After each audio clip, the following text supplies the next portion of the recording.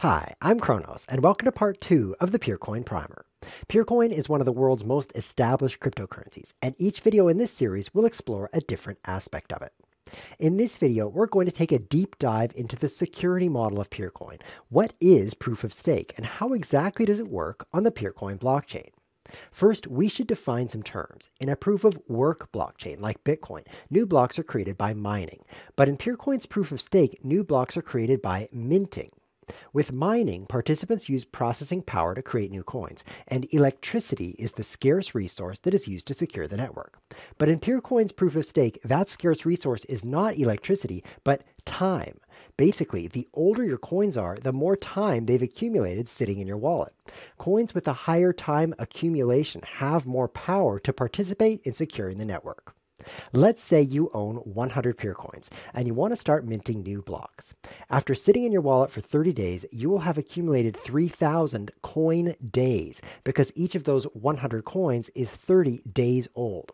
These coin days are the actual minting power of your coins. You can think of your coin days as kind of like your hash rate from traditional mining. Accumulating more coin days means you're more likely to produce a new block on the chain.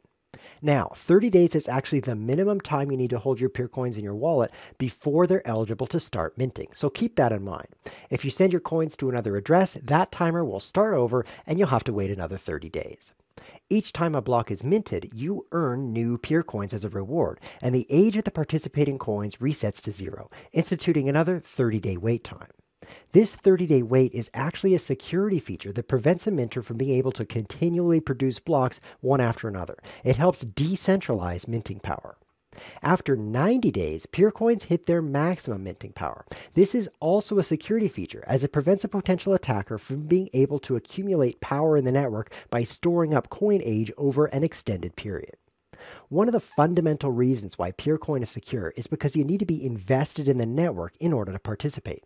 Compare this to Bitcoin or Bitcoin Cash, where anyone with mining equipment can easily jump from one network to another without showing any loyalty. Miners are third party organizations which exist separately from the blockchains they secure. Their primary motivation is not necessarily the benefit of the network, it's earning a profit. If Bitcoin Cash, for example, ran into trouble, miners could abandon it and switch their equipment over to a different and more profitable network. Not so with Peercoin, which is secured by actually owning Peercoins, meaning that those with responsibility for maintaining the network are the coin holders themselves rather than a separate party such as miners. This is a fundamental difference between miners and minters. Proof of stake minters have a vested interest in maintaining the network. By aligning the security of the network with its ownership, proof of stake ensures that those who keep the Peercoin blockchain secure have its best interests in mind. Ultimately, Peercoin is able to resist attack because it is secure by design, designed to prevent any one party from gaining a monopoly over its consensus protocol. This means any potential attacker would have to buy the network from current stakeholders, a task which is implausible at best due to the overwhelming cost and impossible if stakeholders refuse to sell.